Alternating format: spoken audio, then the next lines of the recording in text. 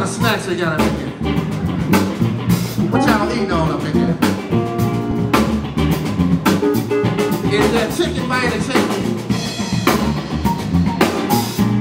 Well, we're gonna eat some chicken eating music. This one is called the chicken.